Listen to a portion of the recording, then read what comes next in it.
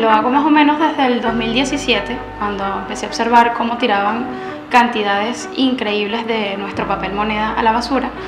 Eso me impactó muchísimo y por eso decidí reutilizarlos de alguna manera y empecé a pintar sobre ellos. Eh, hasta ese entonces solamente pintaba en lienzos, eh, con carboncillo también, manejaba diferentes técnicas que me iban gustando.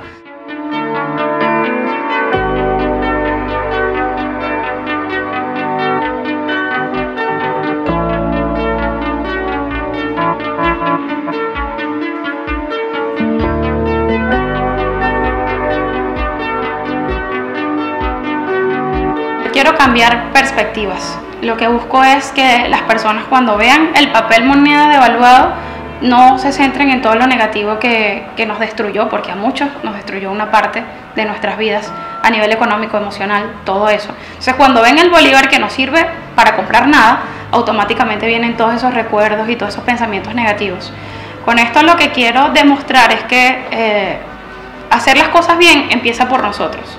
Si nosotros desde nuestras capacidades podemos hacer algo positivo por nuestro país o donde estemos, tenemos que hacerlo, no solamente decirlo, aconsejarlo, sino hacerlo también. Entonces mi manera de contribuir con la Venezuela que yo quiero en un futuro es esto, eh, revaluando esos billetes que ya no servían para nada.